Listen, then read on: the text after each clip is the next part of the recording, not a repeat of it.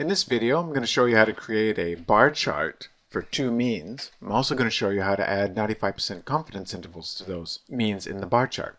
So this example has a dependent variable which is perceived intelligence as rated by people evaluating faces with and without glasses. So the independent variable here is glasses. This is the grouping variable. And we've got zeros for no glasses and ones for yes glasses. So to create the graph, go into Graphs, Legacy Dialogs, bar chart. Make sure you're on simple and summaries of groups of cases which you want for this particular bar chart, but these are also potentially useful alternatives that I may present in future videos across the textbook. For this one here, for between groups, we want summaries of groups of cases. Click Define, and you can see bars represent. You want to put other statistic, and the mean is the one we want, and put the dependent variable in there, and click change statistic and you'll see that mean of values is the default and that's what you want. You could change it to median if you wanted or mode and you have other alternatives here but mean of values is typically what you're going to want. You also want to put your grouping variable as the category axis. Now finally click on options and you want to display error bars. The default is confidence intervals at 95% and you could change that theoretically to 99% if you want or 90 but typically you'll want to put 95%, especially if you're testing a null hypothesis with alpha equal 0.05. You also have the option of doing standard errors on the bar chart or standard deviation. I really don't understand why people would want to do that. I do think confidence intervals is pretty much your best option, probably in almost all cases. Click continue and click OK. And so here we have the bar chart and you can see that it looks nothing like what I put in the textbook. So I'm going to clean this up a bit and make it look a bit better. First thing I'm going to do is double click on the chart and open up the chart editor and I'm going to double click on the scale here where the numbers are because I want to add that to 7 as a maximum and 1 as the minimum and click OK. And also I want to change the bar chart size and you can see you have bar options and the width of the bar might turn that down to about 40. Click apply and I'm also going to double click on here and get rid of the fill and the border. And we're getting closer. I can get rid of this error bars 95%. Just click on it once with a left click and then a left click again and then you can delete it. And I'd probably delete this thing as well. You just have to click on it once and then click on it again and you'll be able to do what you want with it. Change the font size here to 12 and bold. So we're getting closer to what I actually presented in the textbook rather. And over here I might write something like intelligence rating.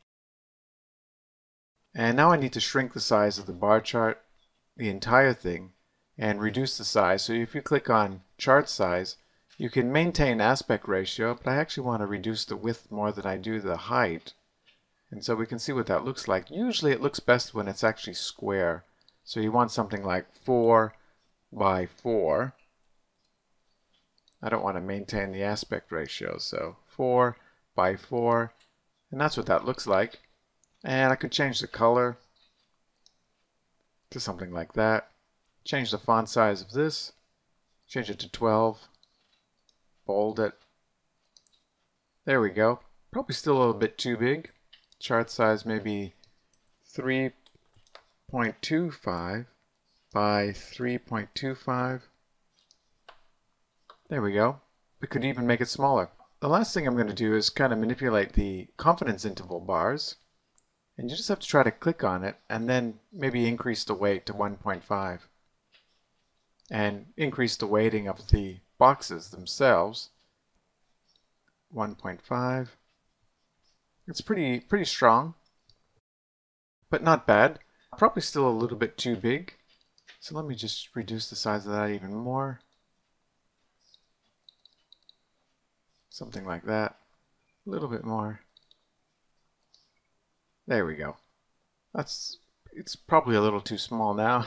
kind of going back and forth, but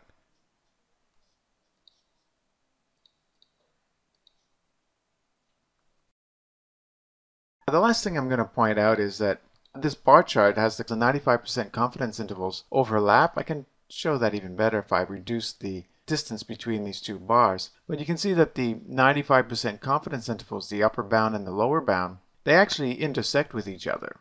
Like this bar, the lower bound exceeds the upper bound of the groups, and that can be consistent with the difference between two means. So if I do an a independent sample t-test, I've got a significant effect here. So 0, 1, continue, and we can see that there is a statistically significant effect, p less than 0.05, and the 95% confidence intervals intersect. That's perfectly legitimate.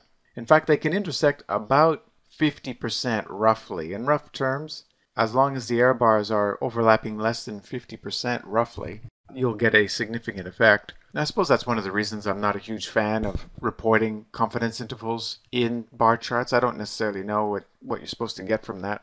Uh, I've got mixed views about it. I can see some benefits, but overall, you can have overlapping bars and it's still statistically significantly different. Anyway, so that's a tutorial on creating a bar chart with 95% confidence intervals in SPSS.